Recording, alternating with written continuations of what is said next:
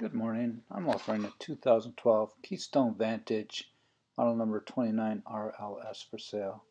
The truck pulling the trailer originally was a 2006 GMC Sierra half ton. I believe on my road trip to Oregon, I got about 13 miles a gallon with that.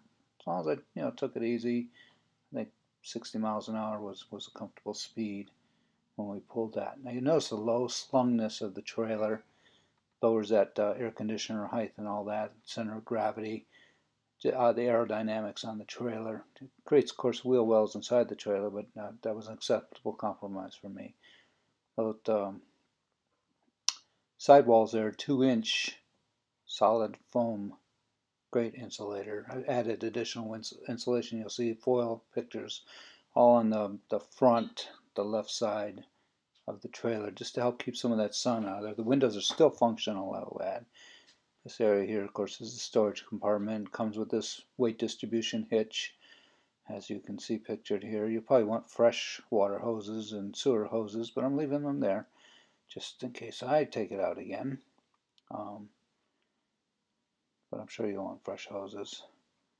The Reese hitch, uh, the, I don't know what brand it is, but the hitch, weight distribution hitch, easy lift uh, functions just fine. The crank there is for the four corners of the trailer, the stability jacks. Of course, that is the back of the refrigerator and the water heater. The decals are all in pretty good shape. I think I found one side that had some minor hairline cracks. That's the edge of the slide. Aluminum wheels, which absorb vibration or lighter weight. Tread depth's good. Sidewalls are good. I wouldn't be afraid to to hook up and tow it across country again with this. I think it's in great shape. Again, those windows are fully functional the way I applied that um, reflectance on there. Deadens the sound, reflects the sun, and just improves the overall comfort inside the trailer for me. Of course, it's removable if you don't like it on there. Nice big grab handles by the doors. That extra portal window there doesn't open.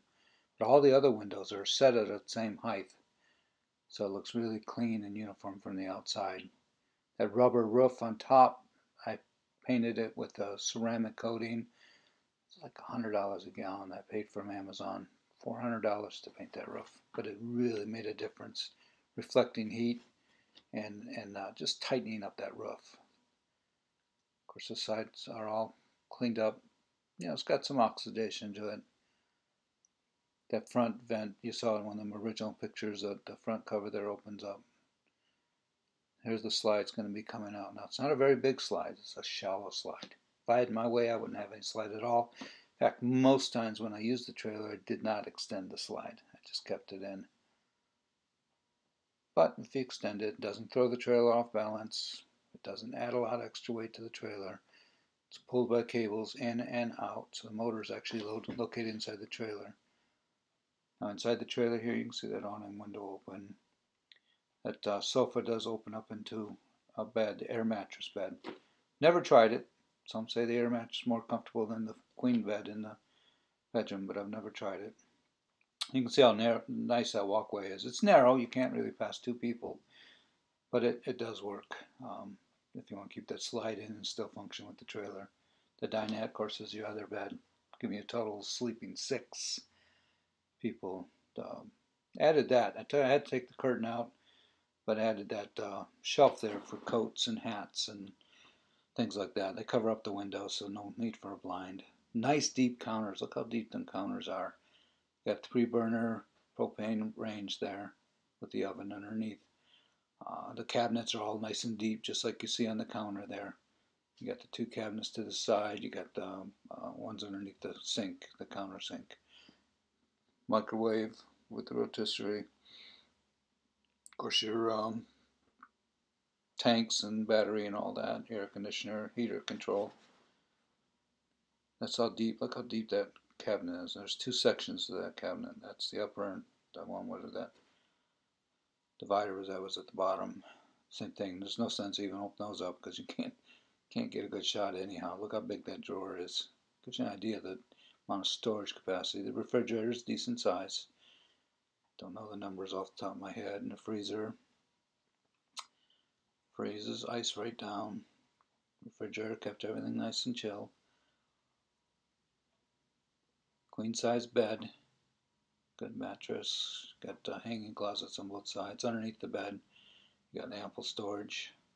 In the bathroom, get your vanity, nice little shelf there. I wouldn't have a trailer without one of these high-speed fans. Moves the air. Porcelain commode with a foot flush. Of course, your shower, your siding that goes all the way up, sunlight, um, natural light coming in. Here's all your, your stickers. If you need any more information or you can't pause that, scroll in. Just let me know. I'll get you whatever information you need. Of course, got the sticker from the compliance agency.